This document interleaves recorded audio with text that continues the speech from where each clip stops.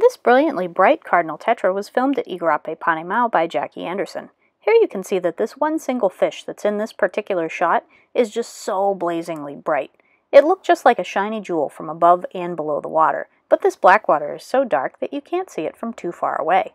There were many, many more cardinal tetras right here at this spot, but they tended to spread out and rove around until they felt or heard a disturbance or splashing that might indicate something edible was being stirred up, and then they would converge on that food. You can see that this habitat is very shallow flooded forest that was likely dry forest just a few days ago, and these green plants are all submerged terrestrial plants, and there's a thick carpet of fallen leaves on the forest floor.